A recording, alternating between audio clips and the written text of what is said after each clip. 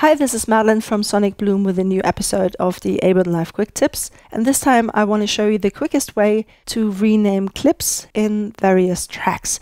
Because this was something that recently came up in an Ableton Facebook group and I realized I had never covered this. So let's get to it. So the first thing you do is you do Command R on Mac or Control R on Windows to rename the first one and then can just go intro. And then if I want to just skip to the next clip within the track, I can use the arrow keys. So down or up. Or I can also go up from here and within the group it'll go to the next one.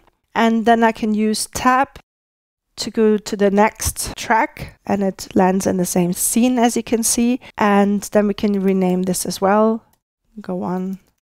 And if you realize you actually want to go back because you added a typo or whatever, you can use Shift Tab to go to left track again.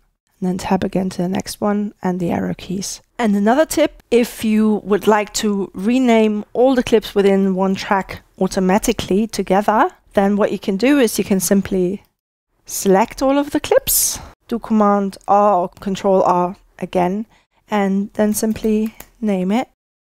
And all the clips automatically get the same name. By the way, if you like this theme, you can download it for free and others, and you can find the link in the description below. That's it already. I hope you found this helpful. Don't forget to like, share, and subscribe, and I'll see you next time. Until then, bye.